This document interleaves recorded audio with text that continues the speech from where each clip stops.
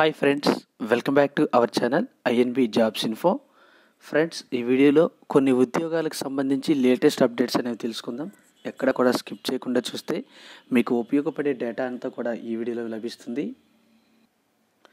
రాష్ట్ర వ్యాప్తంగా తొమ్మిది వేల ఆరు వందల నలభై ఎనిమిది వాలంటీర్ పోస్టుల భర్తీకి ప్రకటన వెలువడే అవకాశం కనిపిస్తుంది. దీనికి సంబంధించి ఉన్నతాధికారులు ప్రభుత్వానికి ప్రతిపాదనలు కూడా పంపించారు.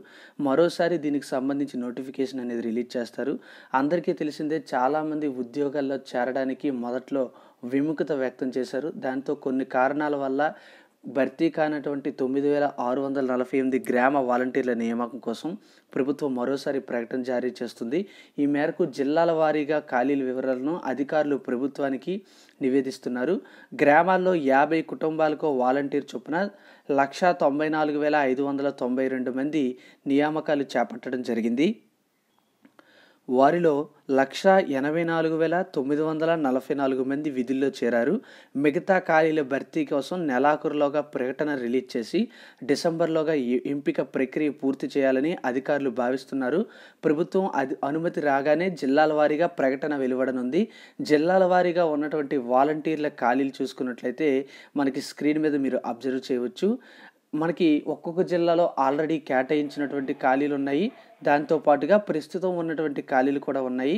అనంతపురం జిల్లాలో తొమ్మిది వందల యాభై ఐదు ఖాళీలు చిత్తూరులో ఆరు వందల డెబ్బై ఎనిమిది తూర్పుగోదావరి పద్దెనిమిది వందల అరవై ఒకటి గుంటూరు తొమ్మిది వందల పంతొమ్మిది కృష్ణా నాలుగు వందల యాభై మూడు కర్నూలు తొమ్మిది వందల డెబ్బై ఆరు ప్రకాశం ఐదు వందల తొంభై రెండు నెల్లూరు మూడు వందల నలభై శ్రీకాకుళం రెండు వందలు విశాఖపట్నం మూడు వందల డెబ్బై విజయనగరం ఎనిమిది వందల ఇరవై మూడు పశ్చిమ గోదావరి ఐదు వందల తొంభై కడప ఎనిమిది వందల తొంభై ఒకటి.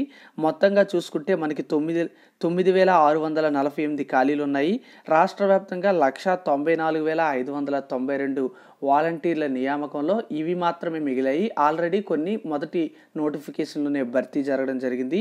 నెక్స్ట్ అప్డేట్ చూసుకున్నట్లయితే మనకి ఏపీఆర్ఓ మౌఖిక పరీక్షకు సెలెక్ట్ అయినటువంటి అభ్యర్థుల జాబితాని ఏపీపీఎస్సీ రిలీజ్ చేసింది.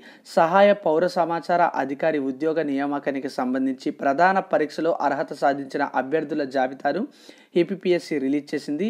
ఇరవై మూడవ తేదీన విజయవాడలో దీనికి సంబంధించినటువంటి మౌఖిక పరీక్ష అంటే ఇంటర్వ్యూలు కండక్ట్ చేస్తామనేసి ఏపీపీఎస్సీ ఒక ప్రకటనలో తెలపడం జరిగింది. నెక్స్ట్ అప్డేట్ చూస్తే సచివాలయ నిర్వహణపై ప్రత్యేక నియమ నిబంధనావళిని మనకి ప్రభుత్వం రిలీజ్ చేయడం జరిగింది. రాష్ట్రంలో ఈ నెల రెండు నుంచి అమల్లోకి వచ్చినటువంటి గ్రామ వార్డు సచివాలయాల నిర్వహణపై ప్రత్యేక నియమావళిని రూపొందించారు. పంచాయతీరాజ్ గ్రామీణాభివృద్ధి శాఖ ఆధ్వర్యంలో సిద్ధం చేసినటువంటి ఈ పుస్తకాన్ని ఈ నెల ఒకటిన విజయవాడలో నిర్వహించిన సచివాలయ ఉద్యోగులకు నియామక పత్రాల పంపిణీ కార్యక్రమంలో పాల్గొన్న ముఖ్యమంత్రి జగన్ విడుదల చేయడం జరిగింది. అప్పట్లో పరిమితంగా ముద్రించిన వీటిని ఇప్పుడు అన్ని జిల్లాలకు కూడా పంపిస్తున్నారు. సచివాలయాల నిర్వహణ వాటిలో పనిచేసే ఉద్యోగుల వారీగా నిర్వర్తించవలసిన బాధ్యతలు సర్పంచులు అధికారులు ఇలా అనేక విషయాలతో సమగ్రంగా ఈ పుస్తకాన్ని రూపొందించారు. ఎవరు ఏ డ్యూటీ చేయాలి అక్కడ చేయాల్సినటువంటి డ్యూటీ ఏంటి సర్పంచ్కు ఉన్నటువంటి అధికారాలు ఏంటి ఉద్యోగులకు ఉన్నటువంటి అధికారాలు ఏంటి వాళ్ళు చేసిన చేయాల్సినటువంటి పనులేంటి అనే దానిపై పూర్తి స్థాయిలో ఒక బుక్ అయితే రిలీజ్ చేశారు. దాని ప్రకారం ఈ సచివాలయాల నిర్వహణ అనేది ఉంటుంది. ఫ్రెండ్స్ ఇవి ఈరోజు ఉన్నటువంటి లేటెస్ట్ జాబ్ అప్డేట్స్. గ్రామ వాలంటీర్లకు సంబంధించి మనకి ఖచ్చితంగా నెక్స్ట్ నోటిఫికేషన్ అయితే రిలీజ్ అవుతుంది. మీరు స్క్రీన్ మీద చూడొచ్చు. జిల్లాల వారీగా ఉన్నటువంటి ఖాళీల వివరాలు. మీకు చేసే ఇంట్రెస్ట్ ఉన్నట్లయితే నెక్స్ట్ నోటిఫికేషన్లో ఖచ్చితంగా మీరు అప్లై చేసుకొని ఆ జాబ్ అనేది వచ్చే విధంగా ప్రిపేర్ అవ్వచ్చు. ఇలాంటి లేటెస్ట్ అప్డేట్స్ కోసం మన ఛానల్ని సబ్స్క్రైబ్ చేయండి. ఈ వీడియోని ఎక్కువ మందికి చేరే విధంగా షేర్ చేయండి. వీడియో నచ్చితే లైక్ చేయండి. Thank you for watching. Have a nice day. జై హింద్.